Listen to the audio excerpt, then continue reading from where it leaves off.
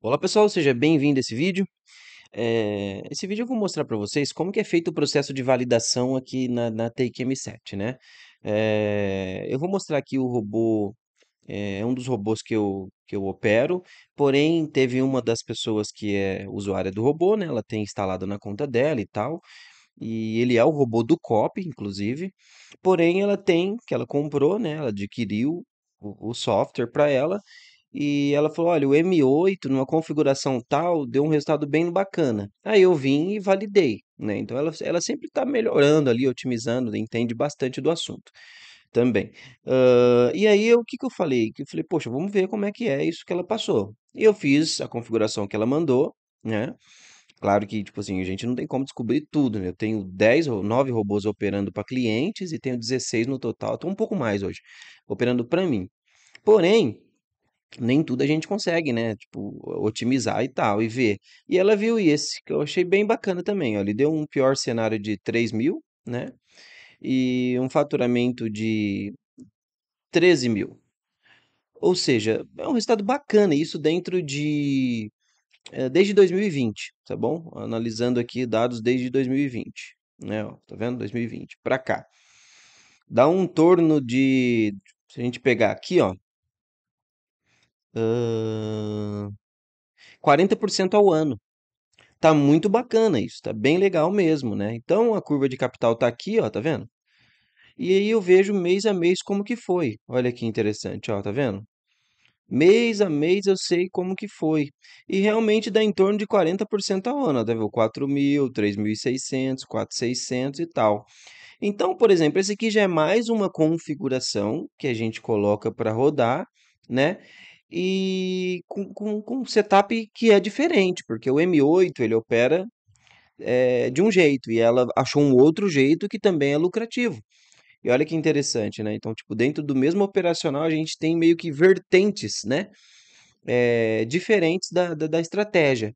E isso faz com que a gente consiga é, não deixar nossos ovos todos numa cesta, né? A diversificação dentro do Forex, no caso, né? Que a gente só opera o Forex nesse caso. Então, olha que bacana, ó, todos os meses positivo, tá bom? Certinho. Já fiz um testezinho de robustez aqui também, fiz um, análise de portfólio de, de Monte Carlo. É, o pior cenário aqui, eu não, eu, não, eu não considero esse, né? Porque esse aqui foi de stop, e sim uh, esse daqui, né? Que é o. Esse resultado aqui, ó, 3.200. Eu considero esse resultado. Ou seja, numa conta Procent, né, quem opera conta Procent com 100 dólares, por exemplo, lá no Take M8, né, que a gente tem o M8 instalado, daria uma média dessa aqui, né, porque é, ele está lá numa configuração que é um pouco diferente dessa, mas mostra quase o mesmo resultado, e também que é lucrativa. Entendeu? Então, poxa, aí, ó, mais uma configuração que a gente pode colocar para rodar. Essa é a importância de você ter um, um, um, portfólio, né, de operações rodando, porque enquanto uma tá bom, a outra tá mal, a outra tá mais ou menos, isso é bem interessante, né? Também aqui eu vou mostrar meu resultado diário aqui do, do mini índice, né, 1470 aqui, com o nosso indicador. Se você não conhece o nosso indicador, o link vai estar tá aqui na descrição também. Hoje foi bem legal para operar, teve uma comprinha aqui que ela chegou a pagar uh, cento e poucos pontos, mas se você estopou, stop foi 136 pontos, aí já deu essa pernona de alta aqui, aí depois já virou negativo aqui, já ficou essa perna de baixo aqui, e o mercado aí tá rolando aí no decorrer do dia, tá? Mas eu já bati minha meta aqui, a gente operou até mais ou menos nessa região aqui hoje, e deu tudo certo, tanto nós quanto os alunos lá do nosso grupo tá bom?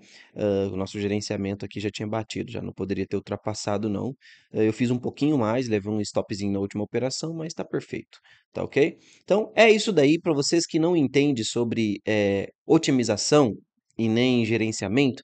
É, isso aqui eu só estou mostrando porque, tipo assim, é o M8, é um robô que a gente opera e de maneira configurada de uma maneira um pouco diferente, e mesmo assim deu resultado, né? Então isso é bem legal, né? Tem pessoas ali que estão tá operando com o M1, com o M2, o M3, o M4, o 5, tá bom? A gente tem o 6 também, aí o 8, o 9 e o 10. Então esse daqui, para vocês terem uma noção, é uma vertente do M8, que é basicamente essa opção aí, é essa...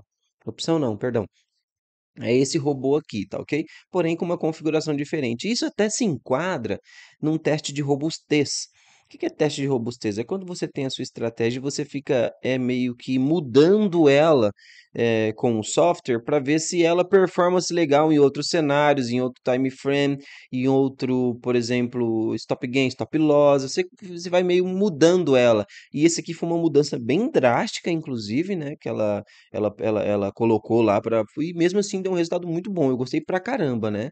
Teve esses momentos aqui, ó, mas isso aqui foi.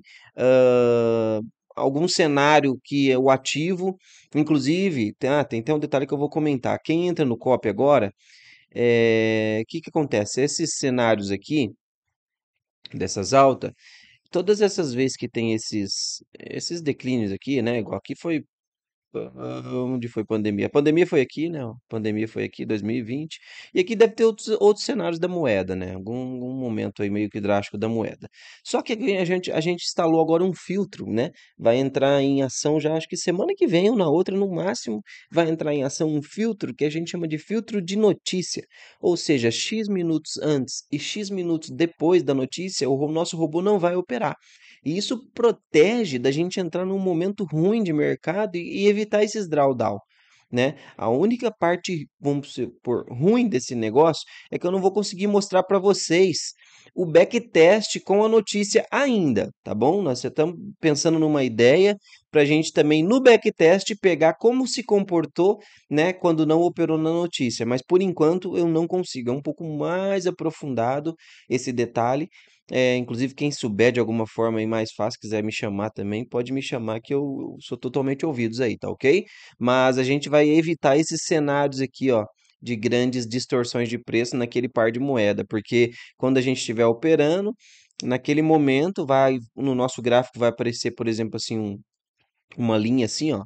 Vamos supor que desse horário até esse horário a gente tem notícia três touros, então ele não vai operar nesse, nesse, nesse momento aqui.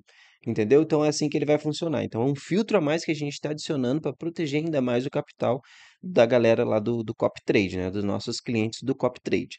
Tá bom? Se você não conhece os nossos serviços, os nossos trabalhos aí que a gente vem fazendo, aqui abaixo na descrição do vídeo tem todo o passo a passo, né? Falando sobre o nosso copy, sobre o nosso indicador, falando sobre as nossas produções de robô. A gente desenvolve robô, tem uma equipe também na Take M7 que desenvolve robô, tá ok? Ah, a nossa boleta, Chart Pares, tá bom? A boleta para você operar no, M, no MetaTrader 5, é praticamente igual à lógica, tá legal? Então é isso aí, pessoal. Caso tenha alguma dúvida, eu estou à disposição, tá ok? Um grande abraço, a gente se vê nos próximos vídeos. Tchau, tchau.